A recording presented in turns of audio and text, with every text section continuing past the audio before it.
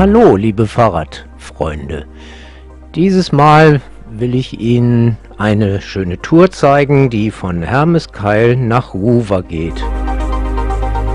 Zur Orientierung, das Gebiet liegt 146 Kilometer östlich von Frankfurt. Ja, wir fahren mit dem Regio Radlerbus äh, in Rheinland-Pfalz. Fahren wir von Ruwer bis nach Hermeskeil. Hier eine Übersichtskarte, wo man die gesamten Strecken des Regioradlers sehen kann. Ja, hier in Ruwer bei Trier starten wir mit dem Fahrradbus und fahren bis Hermeskeil.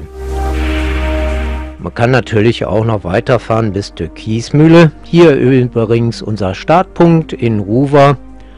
Und hier mal einen Blick nach vorne im Fahrradbus. Hier sind wir auch schon in Hermeskeil angekommen. Wir haben abgeladen unsere Räder. Hier unser Startpunkt auf der Karte am Bahnhof in Hermeskeil. Ja, hier sieht man die Front von dem Bahnhof in Hermeskeil, der natürlich stillgelegt ist. Und dort gegenüber befindet sich auch ein Eisenbahnmuseum. Das kann man auch besichtigen, da sage ich gleich nochmal was dazu. Ich habe hier nochmal ein bisschen die Stimmung an dem ehemaligen Bahnhof eingefangen.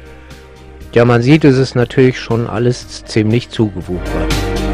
Ja, wir machen uns jetzt nun auf den Weg in Richtung Ruwer noch ein bisschen was zur Geschichte äh, des äh, Bahnbetriebswerks in Hermeskeil. Äh, das Betriebswerk Hermeskeil war bis 1903 Maschinenstation und stammt aus dem Jahr 1888 und liegt direkt gegenüber vom Empfangsgebäude des Bahnhofs Hermeskeil. Es verfügt über einen sechsständigen Rund Lokschuppen. Ursprünglich war der mal zweiständig. Also es bedeutet im Grunde genommen, dass nur am Anfang wohl zwei Lokomotiven dort ähm, Platz fanden, sowie eine 6, 16 Meter Drehscheibe.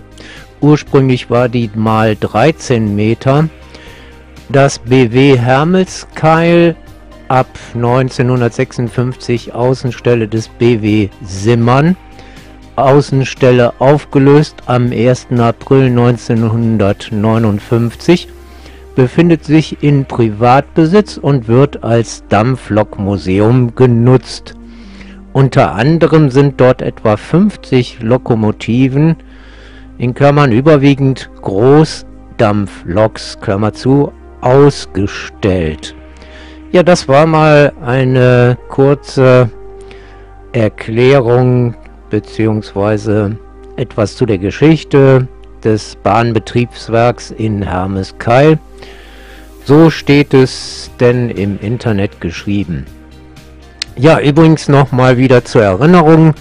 Bitte denken Sie daran oder ihr, dass das ein 360 Grad Video ist und man sich natürlich äh, mit der Maus über das Bild bewegen kann bzw. draufklicken kann und sich dann umschauen kann in alle Richtungen. Natürlich kann man mich auch sehen, aber man kann natürlich auch die Pause-Taste drücken bzw. Pause unten am unteren Bildrand ist das glaube ich auf YouTube.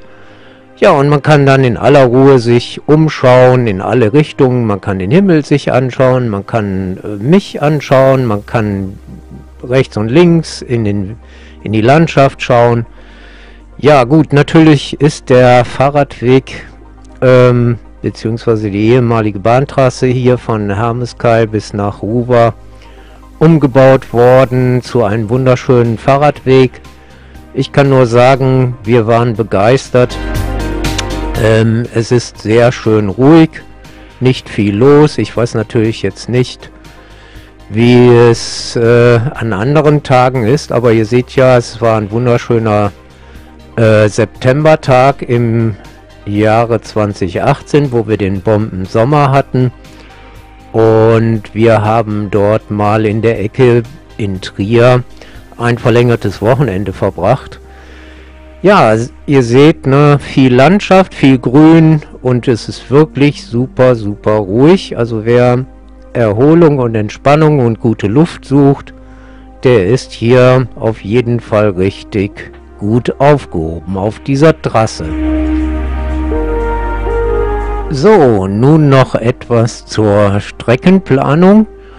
Äh, die habe ich natürlich in Komoot gemacht, ähm, um einfach auch zu sehen, wie die ähm, Höhenunterschiede zu bewältigen sind.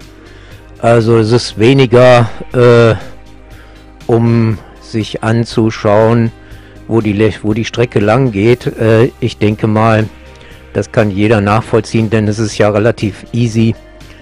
Äh, von Hermeskeil geht es immer auf der Bahntrasse entlang. Gut, es gibt natürlich auch noch ein Teilstück, was nicht unbedingt exakt genau auf der Bahntrasse lang verläuft, aber parallel und es ist alles ausgeschildert.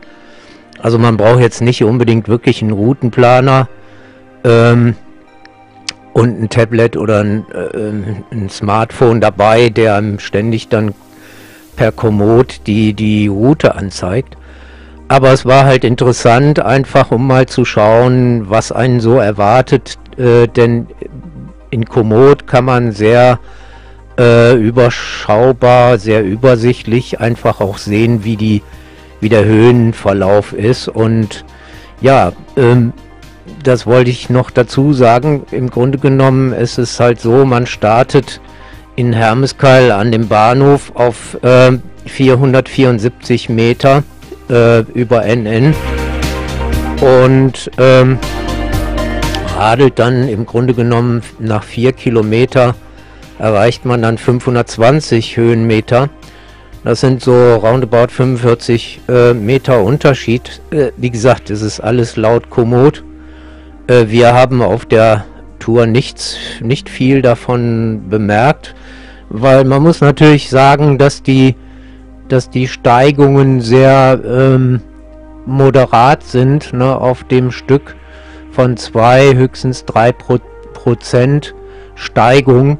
Ähm, das ist natürlich immer noch dem dem Betrieb ähm, von damals geschuldet, wo die Dampflokomotiven natürlich noch nicht so leistungsfähig waren äh, wie heutige Lokomotiven. Ähm, aus dem Grund hat man natürlich äh, sehr darauf geachtet zu vermeiden, dass man extreme Steigungen hat. Man wollte ja natürlich auch äh, größere Mengen an Güter transportieren können und äh, und dafür wären natürlich sehr leistungsstarke Lokomotiven erforderlich gewesen. Die stärkste war die Baureihe 44. Die hatte roundabout 2000 PS. Ja, und das ist natürlich sehr kostspielig. Ne? Okay. Aber wie gesagt, der höchste Punkt ist dann von Hermeskeil aus äh, nach äh, 9,5 Kilometer circa 536 Meter über Normal Null erreicht. Ja, wir erreichen jetzt hier Kell am See. Ähm, hier ist das Hotel zur Post. Dort kann man dann schon mal seine erste kleine Pause machen, was trinken, was essen, je nachdem welche Tageszeit ist. Das kann natürlich selbstverständlich logischerweise jeder selbst für sich entscheiden oder man radelt weiter und nimmt sein eigenes Picknick mit. Ja, und wir haben dort eine kleine Pause eingelegt gehabt und äh, sind jetzt aber weiter auf dem Weg, auf dem Fahrradweg. Ja, und es geht jetzt kontinuierlich bergab. Und ihr seht, wie gesagt, die Landschaft ist wunderbar. Ja, nochmal zur Erinnerung, äh, wie gesagt, laut Komoot ist die Strecke äh, von Hermeskeil bis nach Ruwer, wo wir geparkt haben, 48 Kilometer lang. Äh, die Strecke soll laut Komoot äh, eine Fahrzeit von drei Stunden und zehn Minuten dauern. Ähm, ja gut, das ist natürlich, äh, denke ich mal, ohne Pausen, ohne alles. und einer Durchschnittsgeschwindigkeit von 15,2 Kilometern.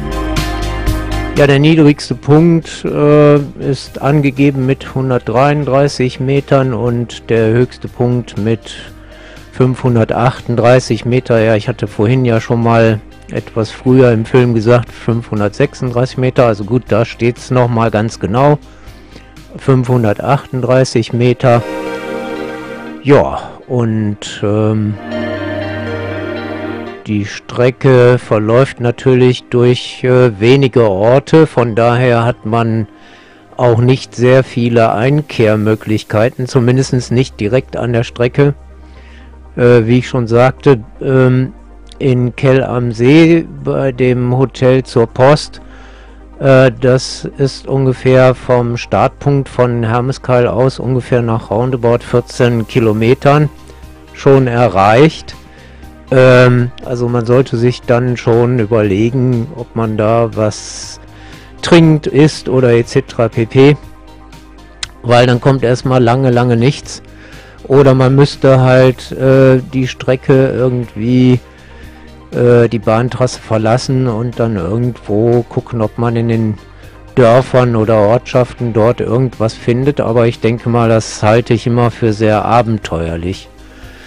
Ja, wir sind natürlich ein bisschen anders gestrickt. Wir sagen uns immer, der Weg ist das Ziel. Wir nehmen dann auch schon mal was mit, wenn wir wissen, da gibt es nicht viel ähm, Einkehrmöglichkeiten oder wo man was essen oder trinken kann.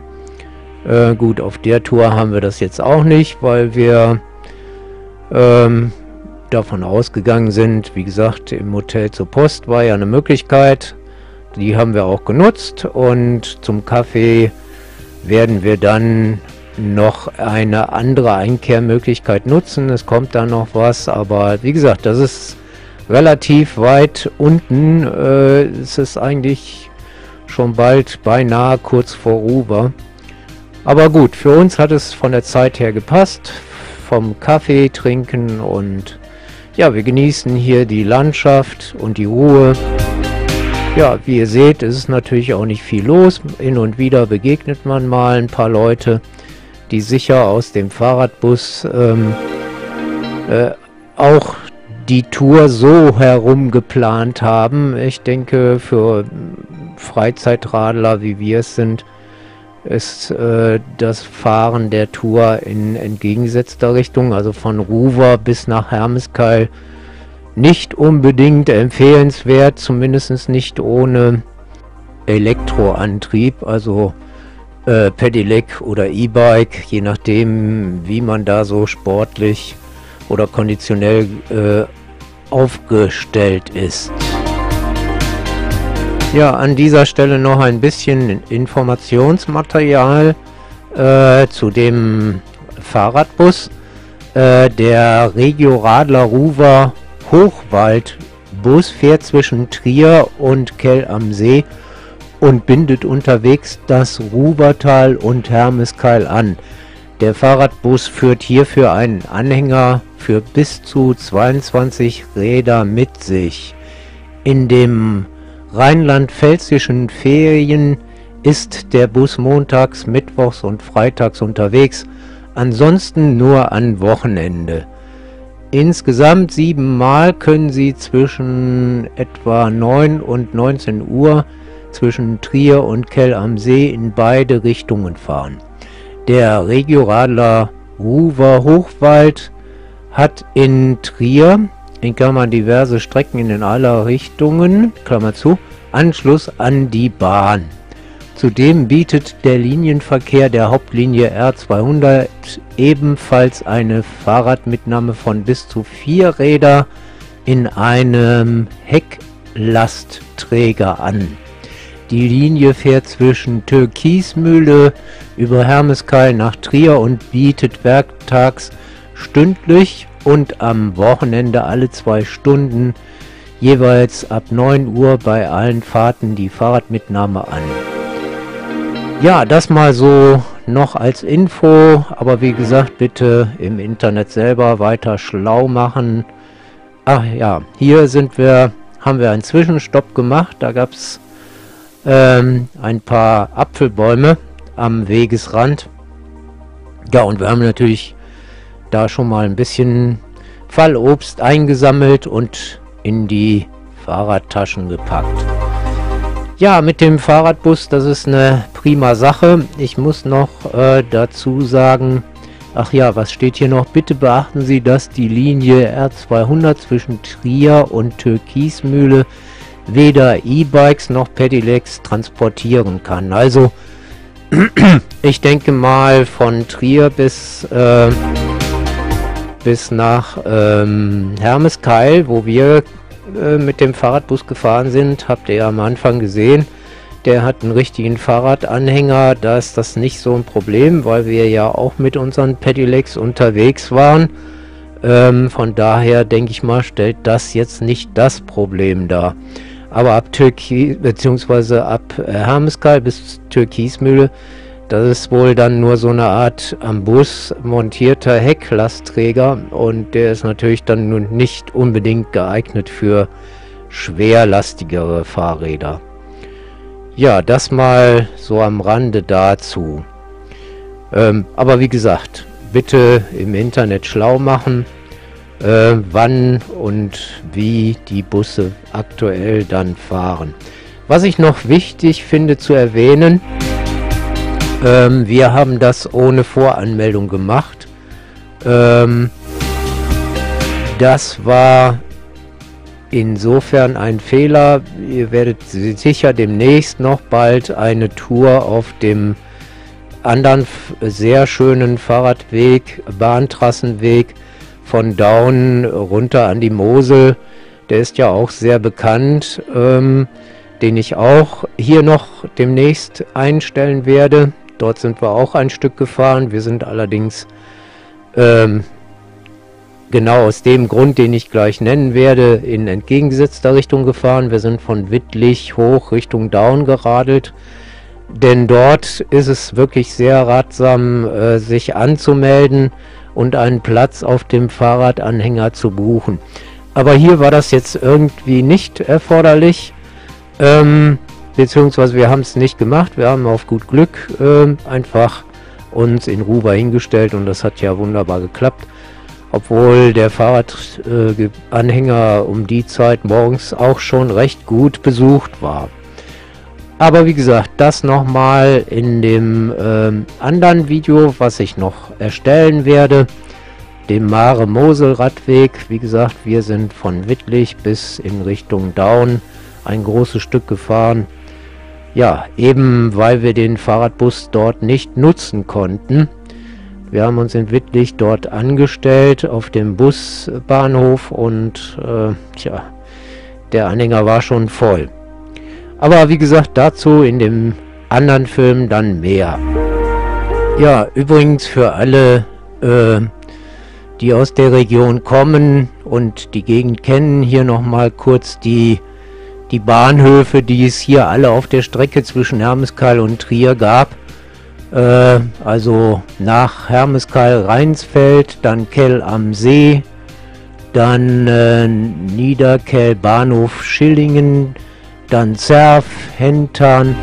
Ja, wir sind hier übrigens jetzt an einer der nächsten Möglichkeiten, wo man ähm, Gastronomie genießen kann, beziehungsweise in Anspruch nehmen kann. Wir haben es uns angeschaut. Wir fanden es jetzt nicht so prickelnd äh, für, ja, für Kaffee und Kuchen. Wir waren uns nicht sicher und äh, sind dann doch noch ein bisschen weiter geradelt zum Glück und haben später noch eine Dame getroffen, die uns einen guten Tipp gegeben hat. Ja, ähm, wir radeln also weiter und äh, wo war ich stehen geblieben? Ja, bei den Bahnhöfen. Also wie gesagt, Hermeskeil, Rheinsfeld, Kell am See, äh, Niederkell, Bahnhof Schilling, Zerfenton, Burgheid, Bahnhof Pluwig, Gusterath, Sommerau, Korlingen, Waldrach, Kassel, Mertesdorf und dann in Trier-Ruwer, Bahnübergang Ruwer Straße. Ja, das waren mal so die Bahnhöfe, die es wohl früher mal auf der Strecke alle gegeben hat. Äh, für die Einheimischen oder die, die Strecke viel früher gefahren sind und sich noch auskennen, werden die Namen sicher der Bahnhöfe alle noch kennen. So, nun noch etwas äh, zu dem Weinangebaugebiet, Ruwer Wein. Ähm, ja, ich denke mal natürlich Mosel, Saar und Ruwer bilden ja hier eine Saarruwer Weinegemeinschaft, die auch unter diesem Gebietsnamen sicher gut bekannt sind. Ähm, tja, was findet man dazu geschrieben? Ruwerwein bezeichnet den Wein, der an den Hängen des unteren Ruwertales bei Trier gewonnen wird. Der Ruwer ist ein Nebenfluss der Mosel. Die Weinlagen sind Teil des Weinbaugebietes Mosel, das bis zum Frühjahr 2007 Mosel-Saar-Ruwer hieß. Seit 1998 bildet der Bereich Ruwertal einen der sechs Weinbaubereiche des Anbaugebietes Mosel. Seit römischer Zeit wird an der Ruwer Wein angebaut. Ein Beleg hierfür ist das Relief Winzer im Weinkontor, das bei einer Mühle in Mertesdorf gefunden wurde und in das Jahr zwei, zweites Jahrhundert datiert worden ist. Ja, also das mal so ein bisschen zur Historie des Weinanbaugebietes. So, nun noch ein paar Kilometer. Ja, man sieht jetzt schon rechts und links ein paar Weinhänge. Ähm, ja, was wollte ich sagen? Ein paar Kilometer bis zur Hotel Karlsmühle. Ähm, das erreichen wir jetzt hier auch schon. Ist wunderschön gelegen. Man kann dort natürlich auch übernachten. Es ist also buchbar über HRS, Trivago, Booking.com. Ich sehe gerade äh, irgendwas mit äh, 87 Euro. Gut, äh, die Preise wir gehen ja immer nur stetig weiter nach oben.